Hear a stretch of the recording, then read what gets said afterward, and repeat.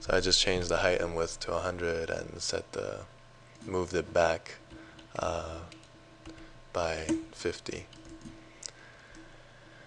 Okay, and we'll move it there. Test it again. Okay, now it's spawning in the center. Now to test for collisions, we want to create a boolean variable. Initially set it to false. And if boundaries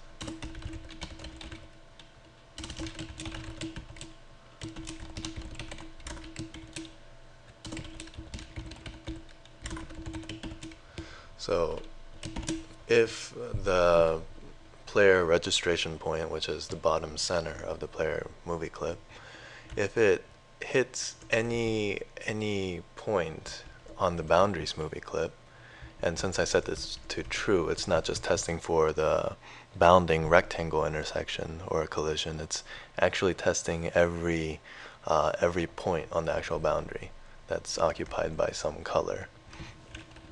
So if it does hit a boundary, then we want to say we found a collision, flag it as true. And if we found the collision, then we want to there's probably a clean, cleaner way to do this, but just for the sake of time. So basically, if we if our player has fallen into one of our boundaries, we just want to increment uh, the location of our or move our player up just a little bit, 0.1, until it's no longer overlapping with a boundary.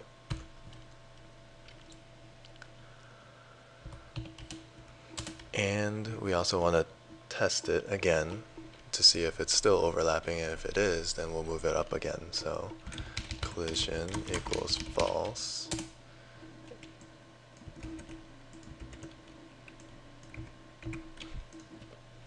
okay and we're retesting it and finally um, if we have encountered or found the collision then we want to reset our downward velocity to zero and now let's test it out Okay, so it falls onto the boundary and stops there. Now we want to add user input. So go back to our key down handler and we want to, depending on which key was pressed,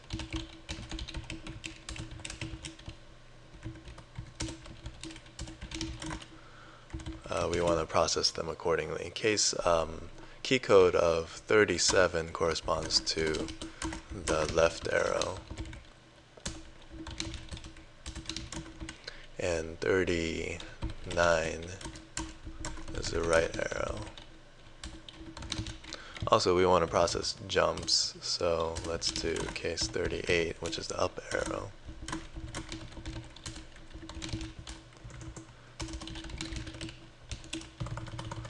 Okay, when when our left arrow is pressed, we want to change our horizontal velocity to negative 7 um, or whatever speed you want to specify.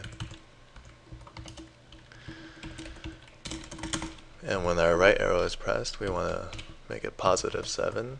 When our up arrow is pressed, we want to set our vertical velocity to negative um, just negative 20 for now. See what that's like.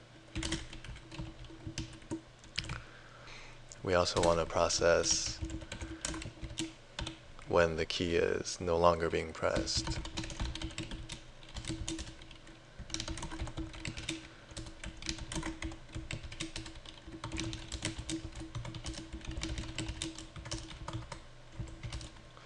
Okay. So whenever the left or right arrow is no longer being pressed, we just want to set horizontal velocity to zero. Let's test that out. Okay, left, right, and up. So we have our jump. Now let's test if uh, we could actually create our boundaries and see if we could walk around in our new environment here. Just any tool you like. Um, it can be any color, but okay, we'll create a boundary here, a platform here, another one down here, and maybe a little ramp or something, I don't know. And an incline to test that out save, run. Okay, so it's working alright, but as you can see, it's not, it's limited to this stage. For example, if I jump off the stage, then it doesn't follow me. So we finally, the last thing we need to do is add scrolling. So back to our scroll stage function. It's just a two-liner here. First, we need to move the boundaries to um, accommodate the centering of our player.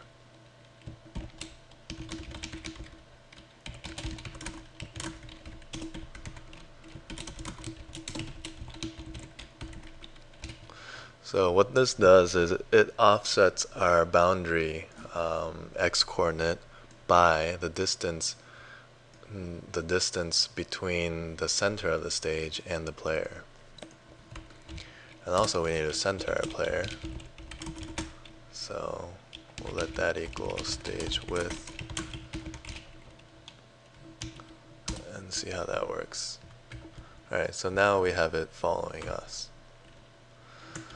So that's the whole tutorial. Um, obviously you can just go back in here and create whatever shape you like. You can extend it to um, you know off the stage and it will work just fine hopefully once again there's a advanced tutorial um, oh yeah that's right the advanced tutorials will cover things like uh, handling you know uh, jumping in midair or uh, multiple key presses at the same time for example if I press right and then press left at the same time and then let go of the right key, then it just stops moving, even though I'm still pressing left. So little details like that. Also, the engine will actually have uh, optimization for uh, collision detection. Right now, the way I'm detecting collisions here, it's very simple. Um, if I run into the side of a shape, then it'll just kind of teleport me up. And it's it actually gets pretty complicating um, if you try to compensate for all these things. So that's that's all included in the advanced uh, side scroller engine creating tutorial. So hope this hope this helped as an introduction to side scrollers.